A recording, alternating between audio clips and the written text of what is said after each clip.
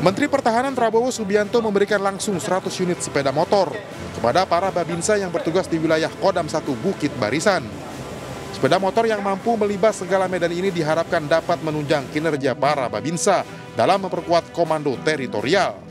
Kita akan bekali semua babinsa seluruh Indonesia dengan motor-motor yang baru supaya operasinya lebih bagus, lebih cepat, operasional mendukung kegiatan uh, di desa termasuk mendukung pemerintahan supaya berjalan di desa.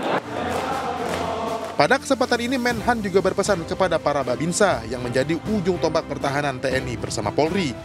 Salah satunya dengan berperan memberikan bantuan dan pertolongan kepada masyarakat.